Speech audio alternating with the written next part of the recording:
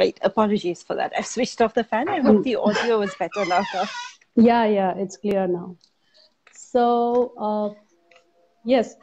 So uh, this we had initiated this series uh, called uh, of conversations called uh, "Why Women Write." So we're just trying to explore why women write, and we are try- trying to talk to women from different genres, Right. fiction, poetry, non-fiction, and so uh, you know we thought science is something you know why women or women write about science or why women don't write about science.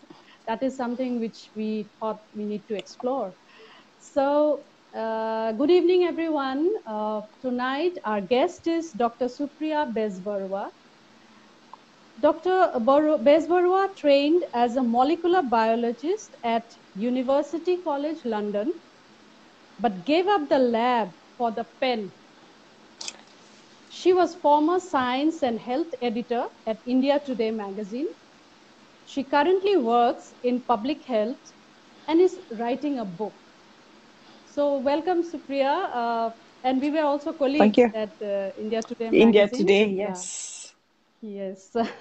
Yeah, have very So, happy uh, memories. Yeah, we do. Hmm. Now, um, yes, uh, so uh, I, I find it very intriguing as well. You know, Uh, please tell us about this transition from the lab to the pen. You know, when did you realize that your the scientist in you has morphed is morphed into a science writer? Writer.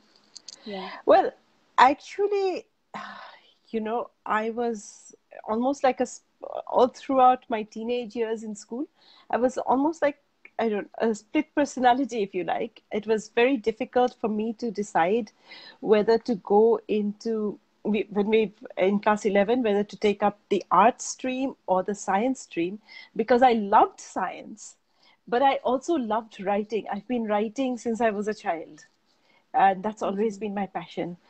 But then someone told me that you can always write, but you know, science you have to study. And I thought that was good advice. So I went into science, I went into biology, and you know, I had these dreams of uh, you know, uh, cancer research and finding uh, you know maybe the cure for cancer or something of that sort. And i love science. I love uh, to me I, of course i was a molecular biologist. So going deeper and deeper into a cell and into the molecules you know looking how wonderfully they're arranged the the whole order of it all was just fascinating. And the and the um, it's just it was incredible how beautifully it's all laid out and going deep into how it works is almost you know like finding the secret of life.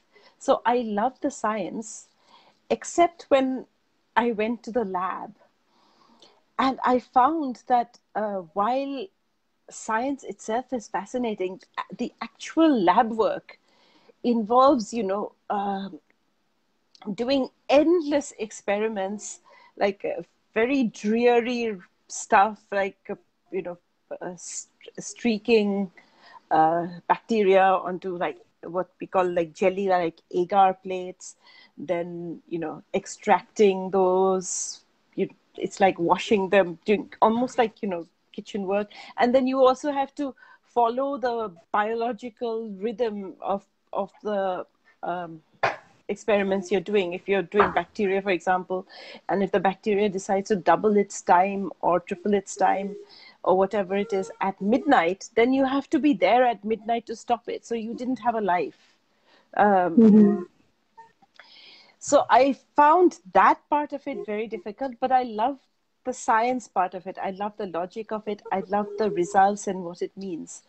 And I also found when I was doing my PhD and also when I went to do my postdoc, I also found that I loved explaining it to uh, you know uh, grad students or undergraduate students. I really, and I also got involved in college uh, with the graduate society, and I was active in setting up the newsletter and writing. And I thought that perhaps what I really want to do is explain the beauty of science as well as the importance of science. Because my whole none of the my family members are scientists. And i s- but our life everything we do is science and tech associated. But mm. and our lives are changing every day but we don't even realize the impact science is happening on us. And because we don't have an uh, uh, we don't realize the impact science has on us we don't have a say in how it is shaping us mm. so that was my other uh, motivation so to say in moving to uh, to the pen from the lab mm-hmm. and i was it was not an easy transition though because i was very confused for a long time I was I did my PhD, then I went and did my postdoc in the US, and I was confused, and I came back uh, here to Delhi to my parents' place, but uh, and just started writing. But I was very fortunate that I met someone who was in India today, and I shared my articles, and then went for an interview and a test, and um, I you know I went at the bottom rung to have you know to. to uh, to try it out. And then I've never looked back since. It was the most interesting thing I've ever done, and I really enjoyed it. Okay. Um, okay. Um, now, uh, I was just looking at some statistics. Uh, way back in 2014, the, uh, a science survey of the top 50 science stars of Twitter found that of the 50 most followed scientists, only four are women. More recently, of the 584 science and tech stories written during 2017 for The Conversation, an independent source of news and views from the academic research community, 72% were written by men and only 28% by women. So, what do you think is the reason for this gap? I think, well, uh, the reason actually, uh, I would say it starts right from, you know, a much younger age. Uh, there's there's a mindset I think to start with. Fewer women go to science.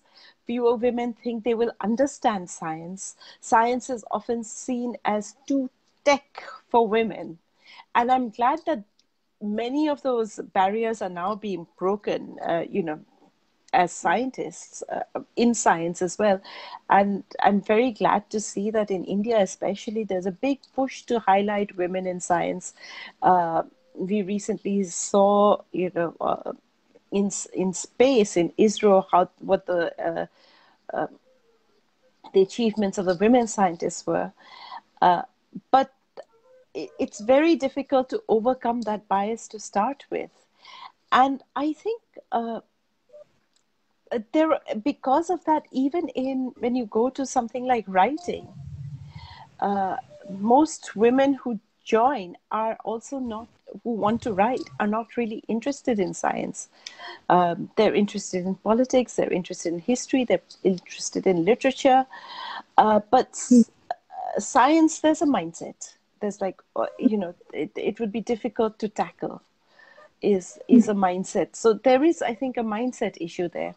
There's also a societal bias perhaps equally you know hmm. the people uh, the trust factor. Maybe perhaps people feel that men's science articles could be trusted more uh, possibly Mm. Uh, certainly, when I was a science journalist and I went for press conferences and all of that, it was uh, usually mostly men for the more technical issues. If it was a general uh, issue, then it would be an equal number, and most of the uh, thing. Having said that, you do have um, a number of very good health journalists who are women. Mm-hmm. But uh, but few of them have stuck on. Sanchita Sharma is one person who's stuck on and has done very well. But mm-hmm. many of the health journalists I knew earlier have moved on to cover politics or other areas.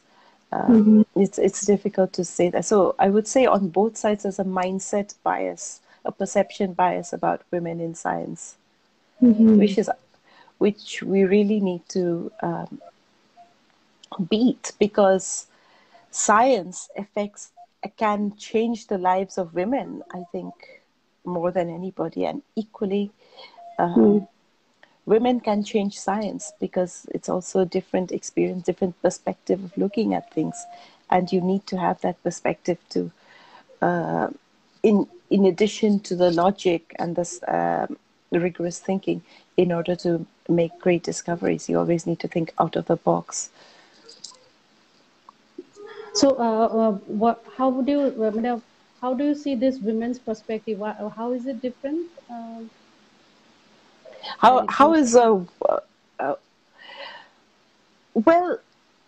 I think all of us are shaped by our experiences, and mm-hmm. and the women's perspective. Women have always been more collective in their approach and and that's very important in science in addition it's it's uh, that working as a team bouncing ideas of each other looking at mm. uh, things in a more holistic manner in a more um, inclusive manner perhaps mm-hmm. Uh, mm-hmm. i hope i'm not going to be accused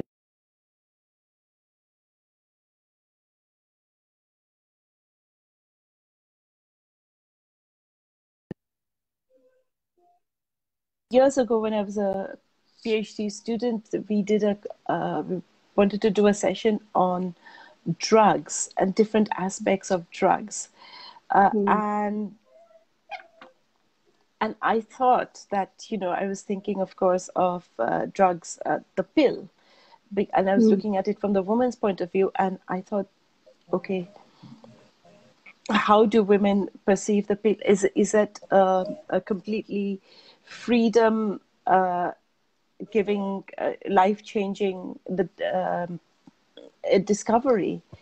But interestingly most women didn't think so. They thought that the biggest scientific achievement which uh, changed their life was the or scientific or technological was the discovery of the washing machine. So mm-hmm. it's a very different approach in how women see how other people see women's lives and how women actually see their lives Mm-hmm. I, I, remember once I did a story on why uh, very few women take up pure sciences as a career option. And that was, uh, you know, the, uh, many social scientists told me that it's basically it's long, rigorous hours in the lab. We, and and the age when you have to get married and your, you know, those reproductive years, you have to uh, have a baby and you have to take care of.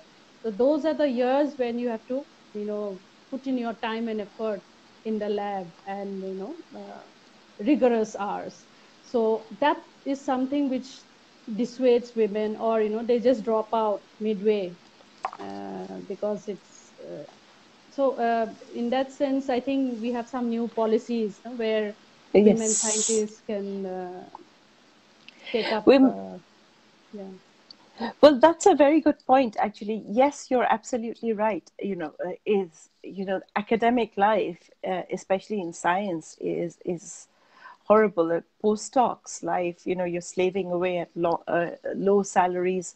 And as i said you know your life revolves around your experiments. So there's no question of regular hours. It's what it takes to make that discovery. And it can take a toll on your personal life completely and definitely it is not conducive to a relationship or family building. It's quite tough unless you have a very understanding uh, boss. There have been lots of efforts being made uh, now for uh, to improve the lot of women, including getting them to publish more, uh, giving them support like you know workplace crashes and all of that.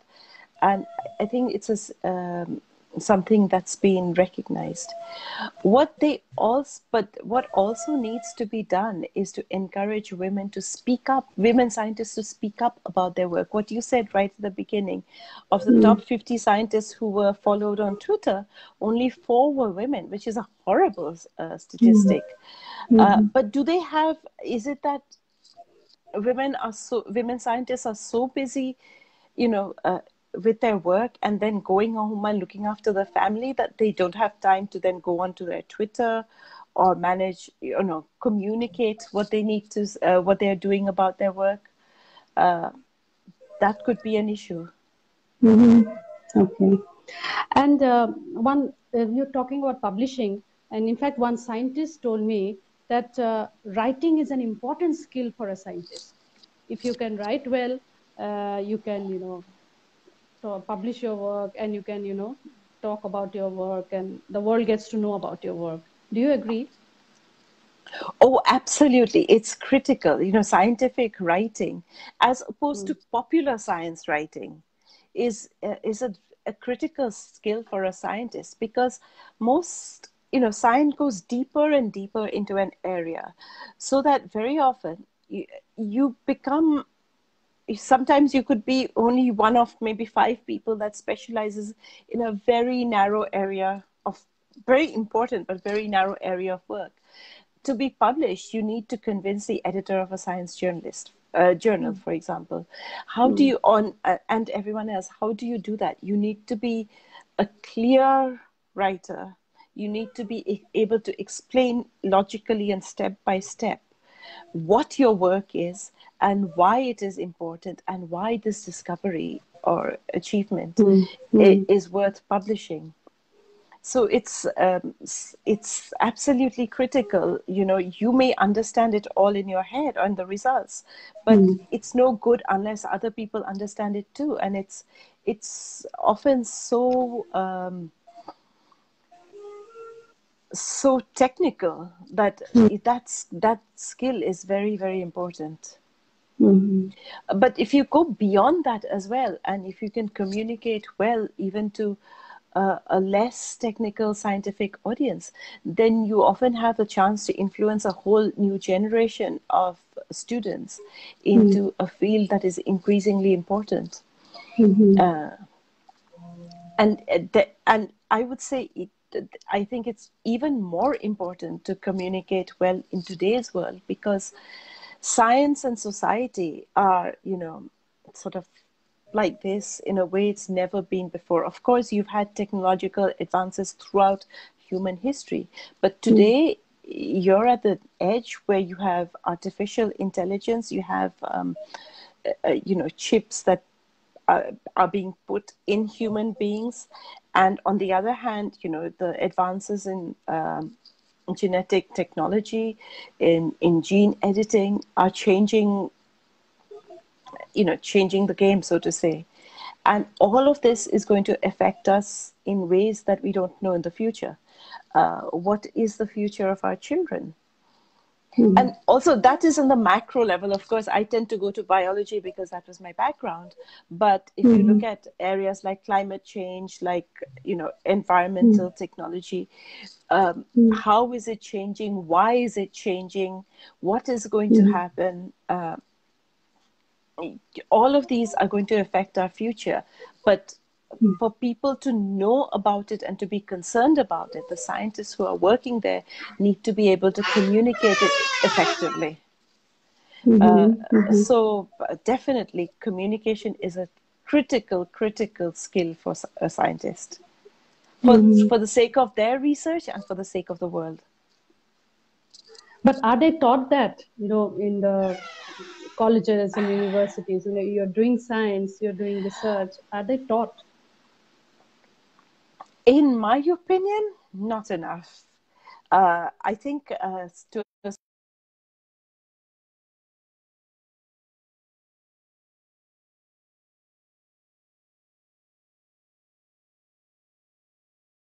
and explain it to others but i think a lot more needs to be done there. Uh, uh, to explain to be able to ex- to be able to be clear enough to explain complicated technical material in a way that someone else a classic communication in a way that your grandmother would understand assuming of course that mm. your grandmother is not a scientist mm-hmm. is uh, is a critical mm-hmm. and uh, coming back to popular uh, yeah yeah go on yeah uh, coming back to popular science writing again, you know, uh, how can we make it interesting for the common man? Because uh, people tend to, oh, it's a scientific article, or it's the onus is on the science writer. You know? So, how can you make it interesting so that your grandmother can learn, uh, you know, understand? Look at it i think from the other person's point of view. Uh, you know what excites uh, what is important to the people that you're addressing uh, to your grandmother or son? What is important to them? What will what are they interested in? What would they relate to? Think of it that way and and explain the science in a way that would link to their lives. Use mm. analogies, use anecdotes, use even jokes, I would say, mm. uh, if, mm. if that it can explain the science better. Uh, hmm. in, you know, most of our science is human. Make it hmm. human. Uh, explain how it, it can affect your everyday life and explain the terms of what's happening in a way that's simple and and mm-hmm. um, easily understood, mm-hmm. which is actually uh, needs practice. It's not easy, especially if you're used to scientific jargon. Mm-hmm. And that's one thing. Uh, do not use jargon. Mm. uh, you know, try and explain it. Uh, you know, in a way, I suppose I would say step out of your life as a scientist and mm. step into the person you were before you became a scientist. What would you expect? What would interest you? What got you interested in science? Think of it that way and then make the story. Mm-hmm. Uh, and and always always think of it as a story. People like stories. Yeah, definitely. And uh, since we are talking about communication, we are talking about media so, do you think our media schools should incorporate a capsule on science education and Absolutely. science uh, journalism? Absolutely, absolutely. Mm-hmm. Um, uh, uh, I when I was uh, uh, writing on science, I found I actually found that because of my background and because I understood the science, I often I was able to grasp what was happening and write a story from what seemed something very bland uh, quite easily. The other, uh, uh, whereas uh, now that I've moved on and I'm on the other side, I'm in public health, I find that uh, a lot, uh, you know, a lot of media people would you know, it, it would really help them in their stories and in their understanding in mm. reporting complex matters if they had more of a background on science if they learned if they learned a little more about it in uh, media school certainly mm. and it would also then lead to i hope more science write more female science writers, perhaps, as there are many hmm. female mm. journalists. Many, maybe, maybe some of them would opt for science writing. As it is, there are very few science writers, male or female, mm-hmm. and eh, and the female ones are even uh, fewer. Mm-hmm. So, very important. Mm-hmm. And uh, since we are talking about media schools, like if we come back to our schools, I mean, elementary school or high school, especially in India, do you think uh, we've been able to inculcate a love for science as a subject among the students. Uh, I think we have failed somewhere. Uh, there is a fear for science and mathematics.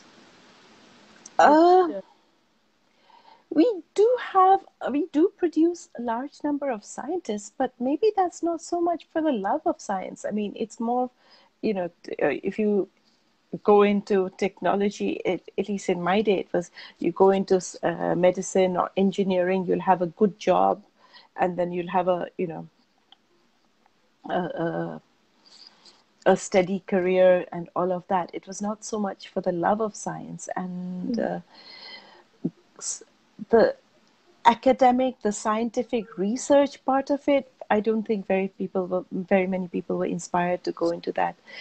You're right; they don't. Um, they need that love for science, for the beauty of science and the importance of science, is probably the excitement of science. Mm. You hmm. know, um, I I remember. Uh, was it Einstein who said, you know, when he sees the order of maths, they sing to him the mm. mathematical equations. Uh, you know, that appreciation of the beauty of explaining everything in an equation, or in my case, you know, looking at um, a cell under the microscope and looking at all the structures and, and then thinking of how incredible it is that you have this double helix and it unwinds at just the right time to mm-hmm. form just the right protein, which goes to just the right place, and then continue that way to to make us live every single minute of every single day. Mm-hmm. Everything that we're doing now, including talking to you, is a function of uh, our DNA uh, being translated into proteins and enzymes, and uh, uh and so on, and it's being done every day perfectly. It's just incredible. Mm-hmm. That beauty, that love, I don't think is complete. I think we need to work. I wouldn't say that it's not there. Uh, mm-hmm. Uh, and I think there are some fantastic teachers uh, there as well. I mean, I went to Kendriya Vidyalaya, Khanapara mm-hmm. in Guwahati, and we had a, mm-hmm. uh, and that's and that's where I biology to uh, I went into biology because I we had a great biology teacher mm-hmm. and I loved the subject, uh, and and that shaped my whole future. And so there are mm-hmm. many teachers like that. I see my children's school; they have fantastic teachers as well, and you know who make the subject interesting. But a lot more, I think, can be done. Mm-hmm. Mm-hmm. And uh, that's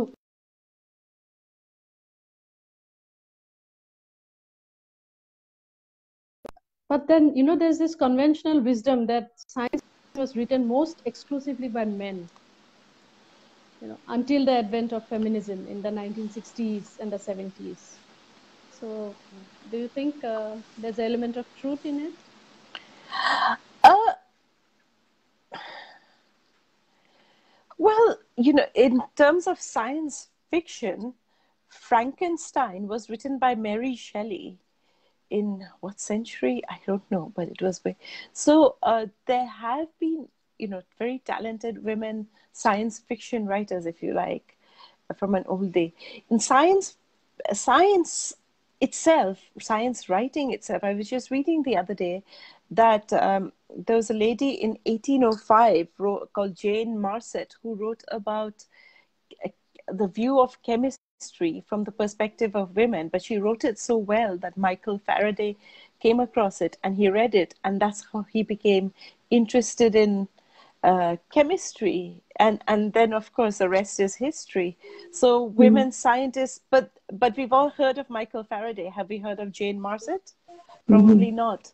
So mm-hmm. uh, you know, there were these few people who were probably uh, you know, uh, a few women who were trying to go against the grain and write. But uh, I, I, suppose society at that time did not take women scientists as seriously, and the ones who did make a difference really had to struggle. Mm. We've all heard this. So, uh, for for sci- for women scientists as well as women science writers, but you're talking about science fiction, mm. or or just science yeah now um, i was just talking about science fiction yeah science fiction mm-hmm. uh there i have to admit i'm not a great science fiction reader but when i think of the ones i've read you're right they're all men.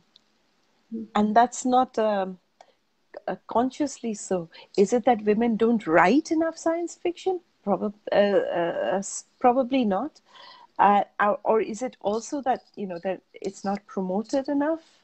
Maybe it's a combination of both but i think again if, if more women were to write uh, science fiction more of it would be taken up but maybe some of margaret atwood i mean i wouldn't call her a science fiction writer but mm. uh, some of her writing um, what was that book on the heart uh, mm-hmm. you could it it it could be in the in in sort of the um, uh, the, the border of science fiction. So, mm-hmm. But apart from that, I agree with you that I, I think more women need to write science fiction to mm-hmm. make it more mm-hmm. interesting. Mm-hmm. But again, uh, there are some who have been very uh, successful. uh, uh, the film TV series Outlander. I think it was based on a book written by a woman, a woman right? Mm-hmm. Uh, the name slips my mind now, but there are, the, but they're few and far between, and probably not as celebrated.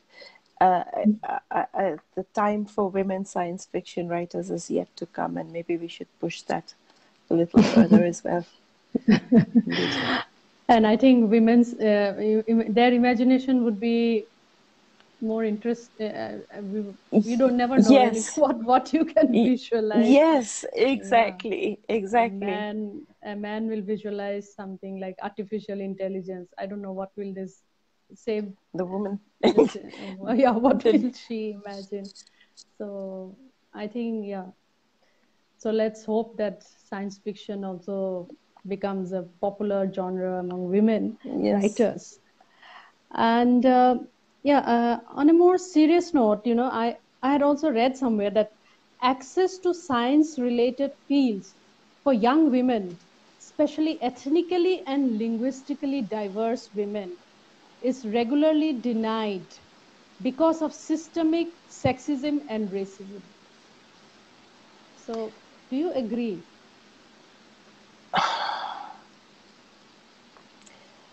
I well, I don't know enough to uh, agree or disagree, but I would not be surprised.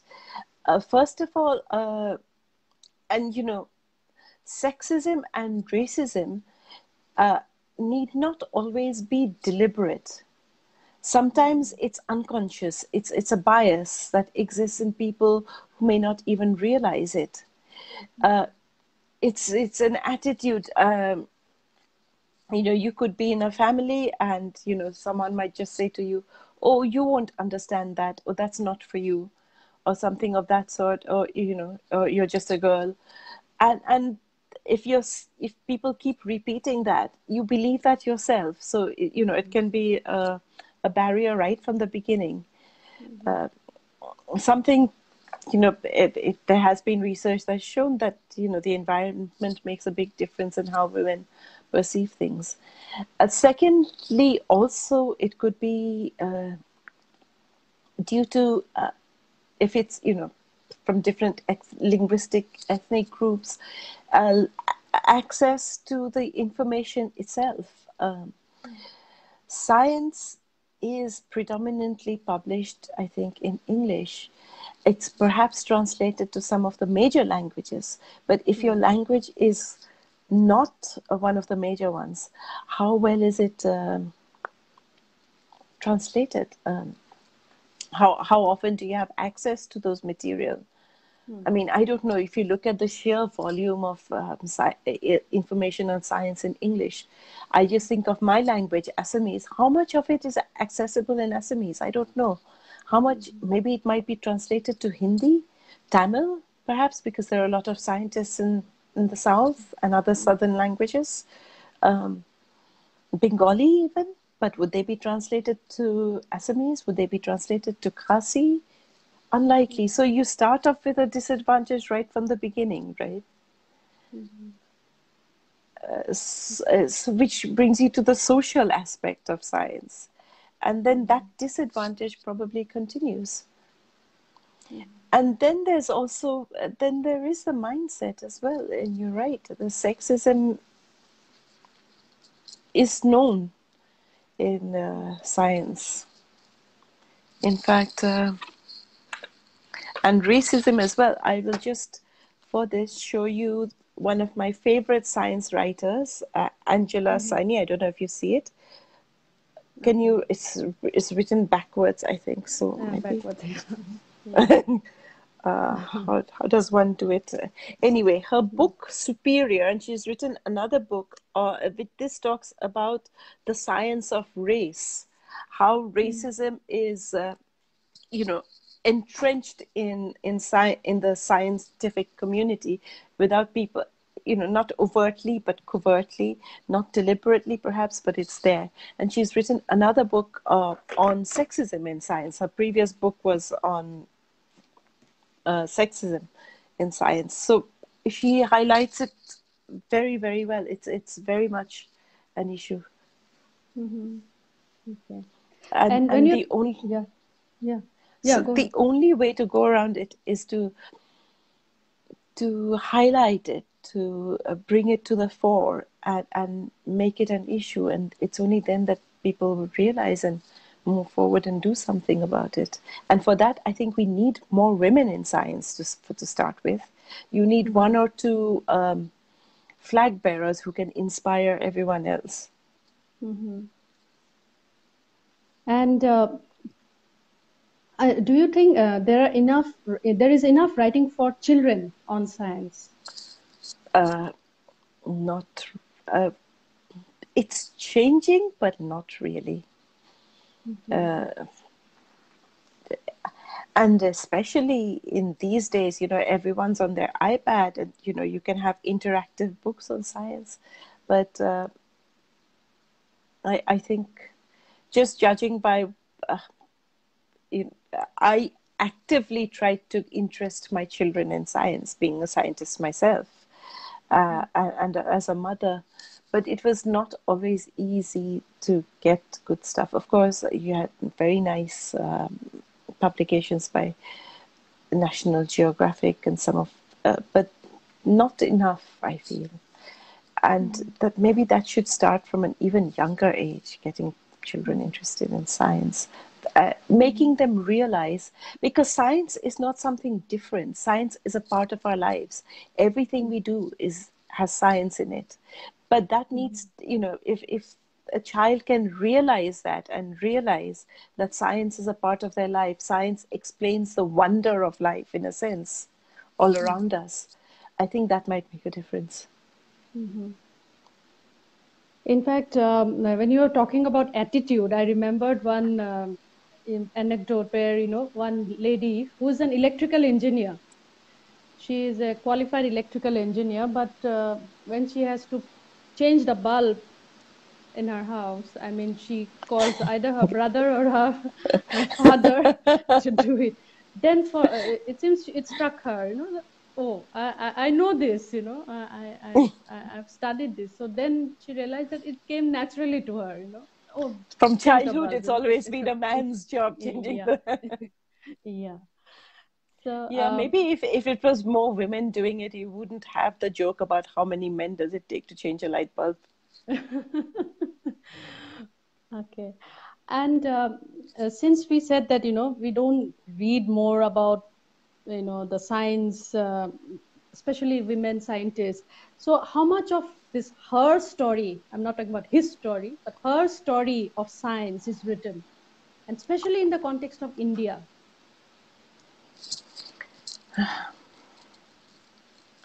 Good question.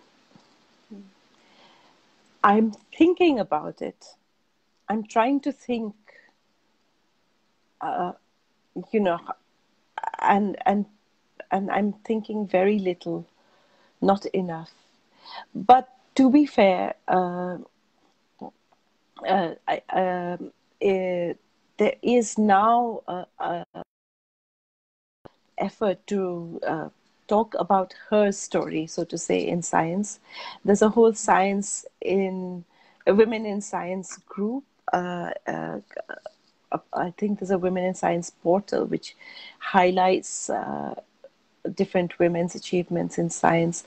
I one of the big scientific institutions in the south is it IISC or is it um, Nasha's um, they've uh, you know they have actually brought out publications on all the top women scientists in their institute who are doing incredible stuff so uh, i think it's slowly changing but maybe we should push that further.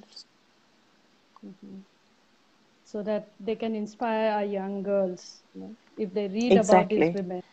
exactly. To already you know science.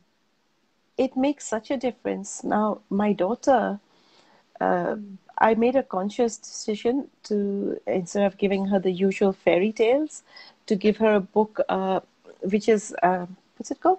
Bedtime stories for um,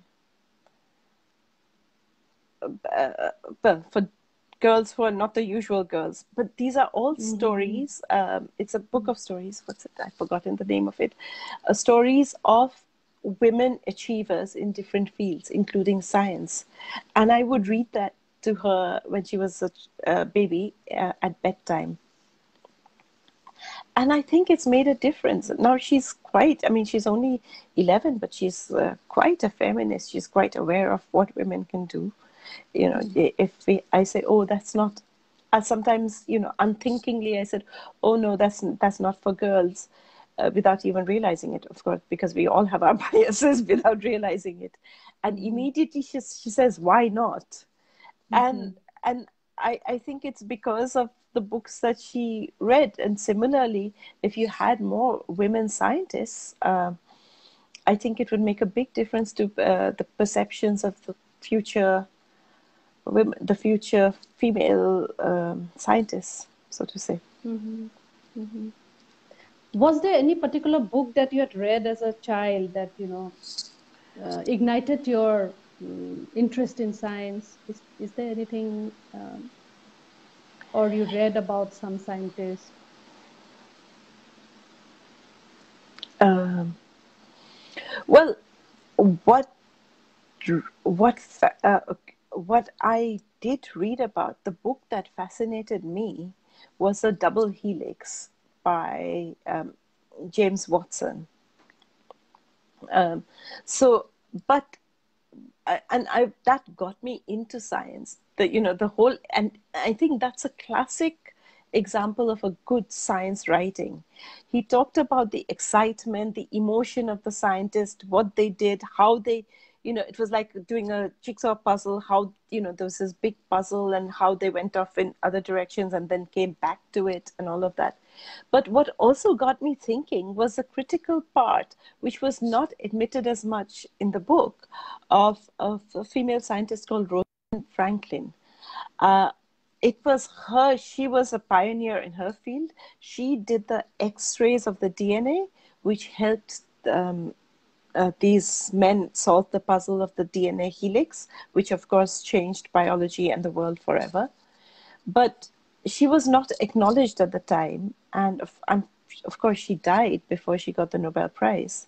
But she was never given her due. And I, when I read more and more about it, uh, then I realized that uh, more, you know, those are the kind of women that actually made a difference. And uh, you know, I really felt that there are women out there who could make a difference. The other book, of course, is um, The Silent Spring. Uh, I read it, and uh, which was written, of course, by the woman scientist, and it just horrified me. It was like a wake up call, and I was like, "Oh my God, what are we doing to ourselves?" That got me really interested into in the environment and even in, even when I was in school, I would occasionally write articles um, for the Sentinel on those issues, and some of them, one or two, were on the environment. Oh, oh, And the uh, book that I was yeah. talking about, my daughters, is Goodnight Stories for Rebel Girls. Oh yeah, yeah. Even I got it for my daughter. I remember now. Uh, and um, and uh, which who is your favorite science communicator? Either a person or a magazine or a journal. I mean, who do you what which one would you rate the best now? Uh, there are many good science communicators right now. It, there's a New York Times writer called Natalie Angiers. She wrote a book called Woman, which is all about, you know,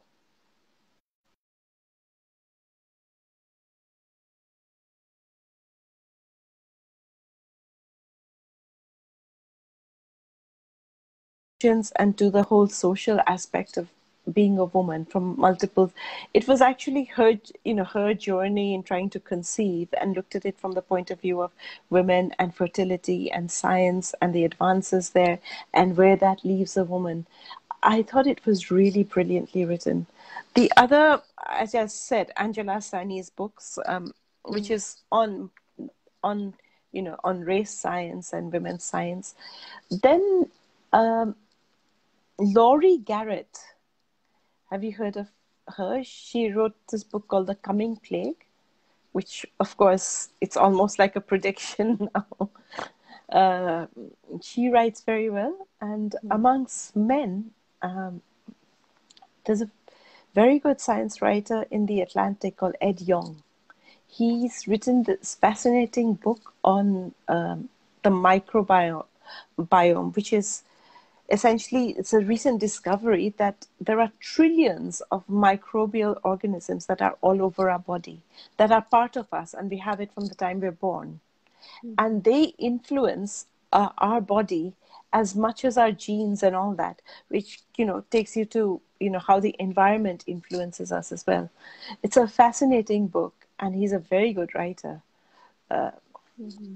then of course siddharth mukherjee and his book on cancer I found fascinating.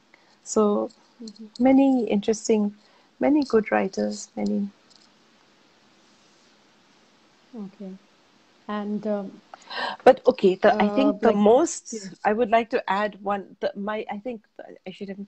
Uh, my favorite would be Oliver Sacks, who's a neuroscientist, and I love the title of his book as well, "The Man Who Mistook uh, His Wife for a Hat." And it was this it's it's very well written book uh, uh, about different um, experiences of his with different patients because he's a neuroscientist and they have different uh, problems and have the most curious outcomes. But he writes it so well with uh, so interestingly and with just the right measure of clinical detachment and empathy which is a difficult balance to maintain Mm-hmm. And, uh, you know, uh, it has been a fascinating discussion.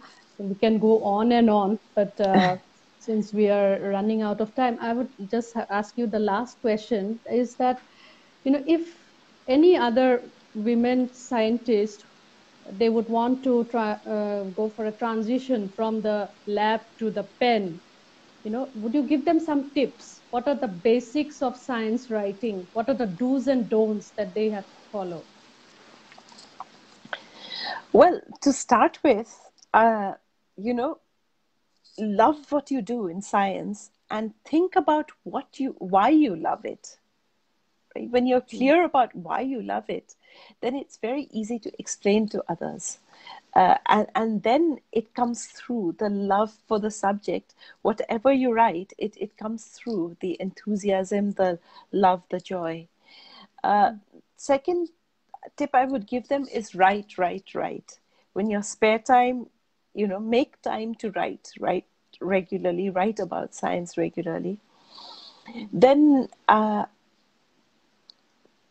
i think uh, also keep in mind uh, your audience or try and be simple in your writing try and be clear in your writing and try and explain the context why it's important what's the story because life is a story. So what you write about science science is life in my in my uh, opinion.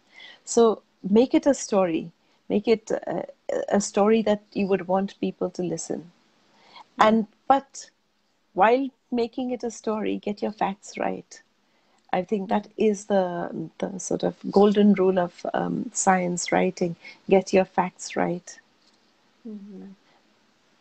Uh, then to move to science from the lab to the pen uh, completely. Well, you have to really uh, be very clear that that's what you want to do. Mm-hmm.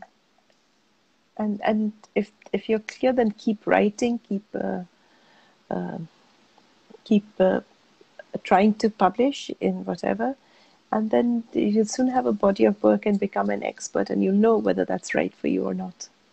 Mm-hmm. Okay. Certainly so, for me, the joy of writing, uh, and mm-hmm. especially writing about science, eh, you know, I don't know about the audience, but the satisfaction I get is tremendous and you need to i think have that um, to have that satisfaction and pleasure in yourself. Um, uh, only then it's worth it. Mm-hmm. In fact, I had gone to this World Conference of Science Journalists one, uh, once. Uh, it was in Doha, in Qatar. Okay. And uh, it was there that uh, you know I had attended many sessions, and it was then that I had realized that there is science in everyday life. You know, uh, every every journalist is a science journalist, and uh, yes. Um, uh, and every journalist is a health journalist you know? Like every uh, like uh, every minister is a health minister. You know, there is you have to talk about health. When you're talking about health or you're talking about science. So i it was a lovely conversation and i wish we could go on and on but then we're running out of time. But uh, thank you so much Supriyaa for giving us your time. And i hope uh, young women would be encouraged and inspired by you know what you said and you know we'll have more and more women writing science and women writers, I hope so. women science writers will be taken seriously more seriously and we'll have more yes. of them on the Twitter hit list. yes, let's let's make it a movement. Yeah. More women science writers out there. Yeah. The... So thank you so much. Happy Thank night. you so much for inviting me. It's thank you very much. It's been a great pleasure. Thank you, thank you so much. Bye. Bye.